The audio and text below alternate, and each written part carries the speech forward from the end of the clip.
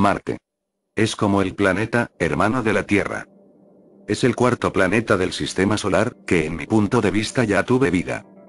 Porque se dice que en Marte ya tuve agua, y aún tiene pero en estado sólido. Si no sabes lo que es agua en estado sólido, es porque tienes una escuela como la mía XD.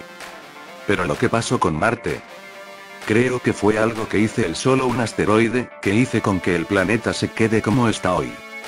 Desierto, seco, y sin oxígeno, que es imposible de tener seres vivos, como en la Tierra. Sin embargo, estoy seguro de que fue un asteroide que puse el planeta así.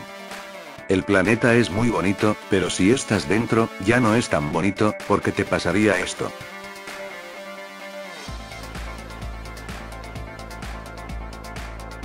XD Marte es un planeta, que puede tener vida, sin problemas, no importa que sea el cuarto planeta, si Marte tuviera oxígeno, y con las temperaturas como en la Tierra, sería posible, tener vida. Pero por mí, Marte se puede quedar así hasta que los humanos desaparezcan, porque si no, van a joder el planeta como este. Espero que los planetas que puedan tener vida, estén muy lejos de nosotros, porque si no, los vamos a joder como la Tierra, los humanos son como un cáncer de planetas. Bien, volviendo a Marte. La temperatura media en Marte es menos 63 grados, con una temperatura máxima de 20 grados, y un mínimo de menos 140 grados.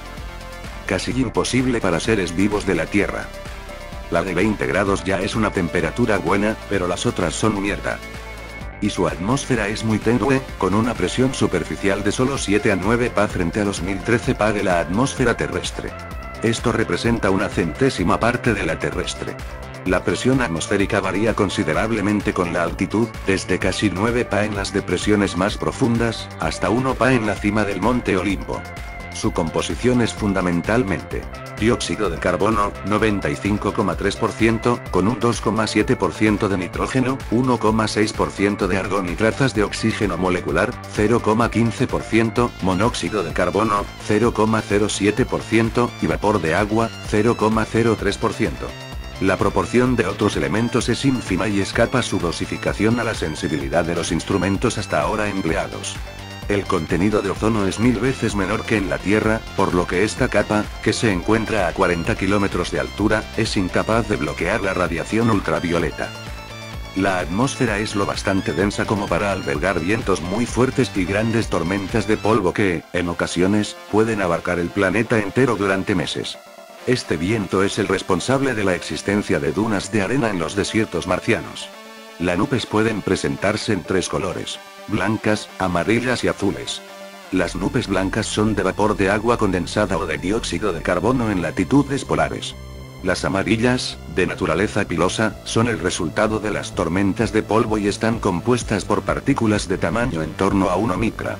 La góvela celeste marciana es de un suave color rosa salmón debido a la dispersión de la luz por los granos de polvo muy finos procedentes del suelo ferruginoso.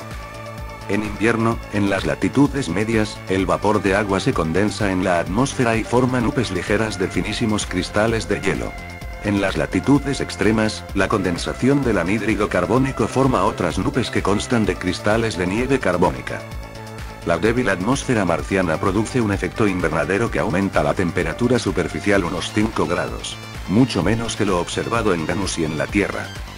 La atmósfera marciana ha sufrido un proceso de evolución considerable por lo que es una atmósfera de segunda generación. La atmósfera primigenia, formada poco después que el planeta, ha dado paso a otra, cuyos elementos provienen de la actividad geológica del planeta. Así, el vulcanismo vierte a la atmósfera determinados gases, entre los cuales predominan el gas carbónico y el vapor de agua. El primero queda en la atmósfera, en tanto que el segundo tiende a congelarse en el suelo frío. El nitrógeno y el oxígeno no son producidos en Marte más que en ínfimas proporciones. Por el contrario, el argón es relativamente abundante en la atmósfera marciana. Esto no es de extrañar. Los elementos ligeros de la atmósfera, hidrógeno, helio, etc., son los que más fácilmente se escapan en el espacio interplanetario dado que sus átomos y moléculas alcanzan la velocidad de escape. Los gases más pesados acaban por combinarse con los elementos del suelo.